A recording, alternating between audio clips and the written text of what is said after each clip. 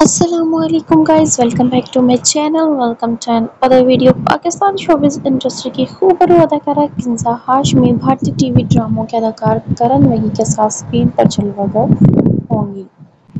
Social media पर अदाकारा किंजा हाशमी की तस्वीर वायरल हो रही हैं, जिसमें उन्हें भारतीय अदाकार के साथ सेट पर अदाकारी के ज़ोर दिखाते देखा जा सकता है। इन तस्वीर को देखकर कयास आराइयाँ जा रही हैं कि किंजा हाशमी भारतीय अदाकार करण वही के साथ किस प्रोजेक्ट का हिस्सा है और जल्द दोनों स्क्रीन पर एक साथ जलवागर होंगे, तहम ये कौन सा प्रोजेक्ट है?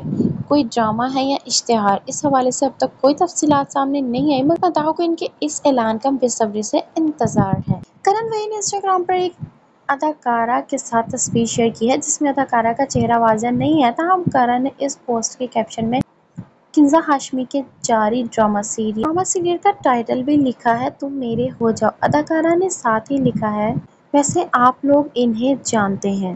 दीगर लोग भी शामिल हैं। इस पोस्ट की कमेंट सेक्शन में मताहों की जानब से भी यही अंदाज़ा लगाया जा रहा है कि यह पाकिस्तानी पाकिस्तानी अदाकारा किन्जा हाशमी हैं। भारत में पाकिस्तानी अदाकारों पर पाबंदी आयद है। जब पाकिस्तान ने भी भारतीय फ़िल्मों और ड्रामों की नुमाइश पर पाबंदी आयद कर रखी है, ऐसे में पाकिस्तानी अदाकार सरहद पार कौन से प्रोडक्ट का हिस्सा बनने जा रहे हैं ये जानने के लिए थोड़ा इंतज़ार करना पड़ेगा।